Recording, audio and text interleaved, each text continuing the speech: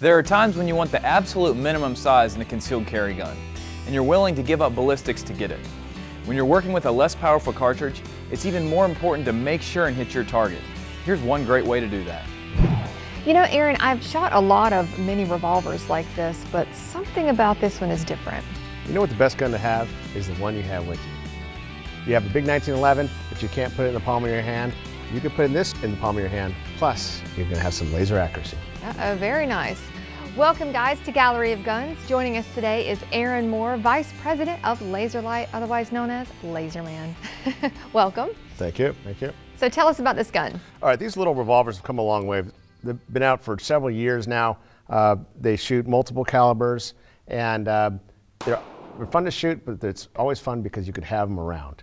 Uh, they shoot a 22 Magnum round, which is enough to stop stop anybody that's really wanting trying to hurt you. And you're at least going to give them five rounds of "Leave me the heck alone. I'm serious about protecting myself." Is it really a useful defensive gun? It absolutely can be. The Hornady Critical Defense 22 Magnum loads now have some great ballistics uh, for self-defensive ammo that can be quite comparable to a 380 auto. Okay, so where does LaserLyte come into the picture? Well, we right on the grip area. So this is our third model of a laser for the North American arms. Uh, but this one is totally different because it's completely integrated into the grip area. Uh, and it has the same look and feel as your stock grips. And what's the difference? Difference is everything is built into one unit here.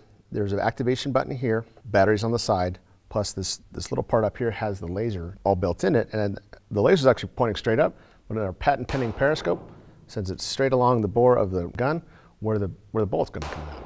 Okay, so it replaces the existing grips without any gunsmithing? Yep. What you're gonna have to do is use about one screw.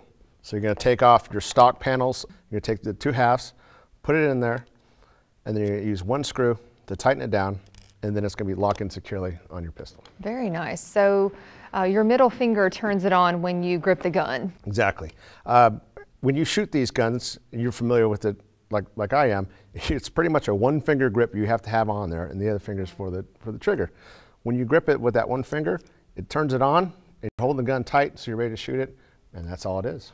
And tell us about where you adjust uh, the windage and elevation. Yeah. Windage and elevation are is located right here on the, on the laser periscope part of it. Uh, what's cool about the full adjustment on this is you can actually get replacement cylinders to shoot a 22 long rifle. It's a lot cheaper to ammo if you could find it, uh, but it will change the ballistics. So you can sight it into types of ammo gotcha. and different ballistic loads. Okay, and what sort of batteries does it use? Uh, it uses three 392 batteries. Then the battery cap's located right here. And the cool thing about this, you don't have to take the laser off your gun ever again. You just take this battery cap out, replace them, and put them back in. And let's talk about children for a second and not pointing that laser at each other. Yeah, of course, with anything else, uh, gun safety is first and foremost. You must point the gun in, in a safe direction.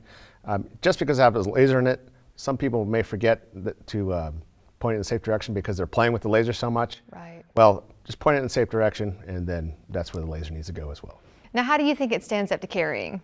Perfectly fine. The body's made out of 55% uh, glass-filled nylon. It's a very uh, tough and durable plastic. It actually has a little protective piece of glass here that protects any fuzz or any, any debris getting over the lens system on the laser. So you have a nice crisp dot all the time. Um, it's probably just as good or just as durable as, as the factory grips on it. That's right. You know, this is a gun that really benefits from a laser. The factory sights are very small and the sight radius is only a couple of inches. So when I was shooting it, it is a bit of a challenge, but when you put the laser on it, piece of cake. Well, if you like this gun and you're not sure what, whether to buy it or not, well, this should just put you right over the edge because this is this, the decision maker on buying it. You definitely should.